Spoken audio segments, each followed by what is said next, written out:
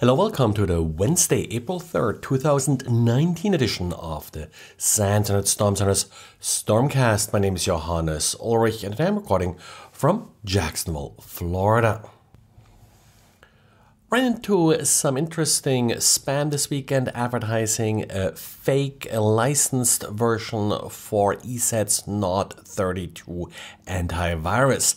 Now, antivirus coverage for this particular malware was sort of mixed. However, when I ran it on a standard Windows 10 system, Microsoft's uh, anti-malware did pick it up right away once it started running and sort of unpacking itself. But what's, what's sort of interesting is that the web servers uh, being used in order to distribute the malware, those apparently were, at least in the couple instances where I've seen this malware, LaCie hard drives. Uh, LaCie is a maker of various USB and portable hard drives and the like, but they also make some of uh, these network storage devices where uh, they are exposed via the internet. And in this particular case, the F FTP component on these drives was used to distribute the malware.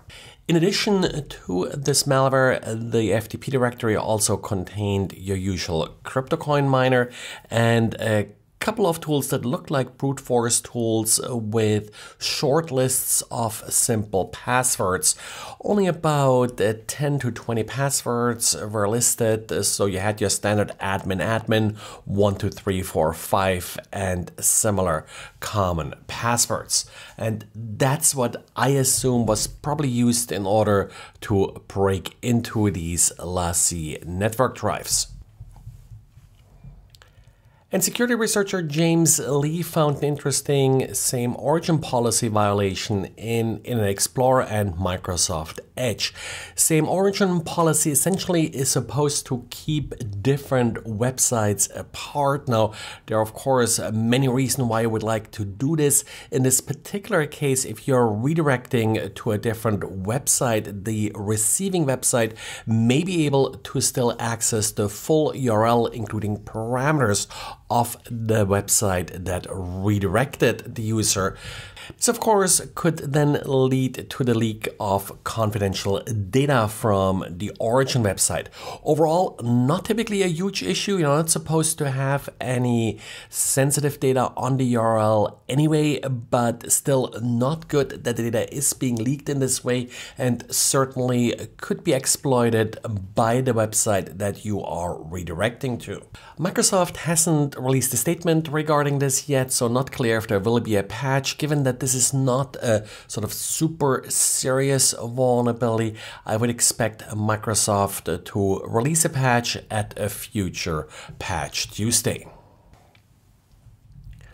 Probably a little bit more severe is a vulnerability that was fixed in Apache's HTTP server 2.4. The latest release, uh, 2.439, that was released today, fixes an interesting privilege escalation vulnerability. Due to this vulnerability, any user that's able to execute scripts within Apache is able to obtain root. Now, on a dedicated web server that may not not be a big issue.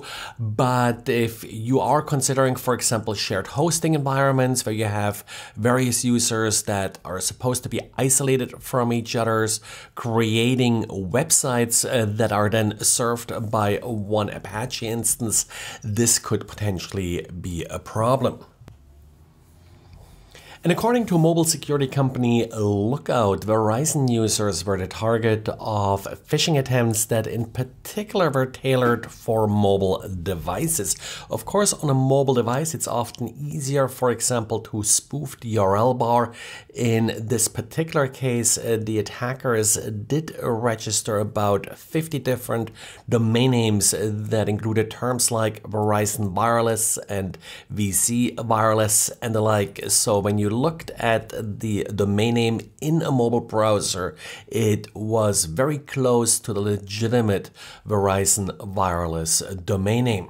The goal of this particular campaign was to then obtain users' credentials for their Verizon Wireless support account, which of course could then later be used in order to take over the accounts or maybe commit some pay call fraud. Lookout didn't state what the final goal was, but that's uh, sort of what typically happens uh, with wireless credentials. Well, and that's it for today. Thanks again for listening and talk to you again tomorrow. Bye.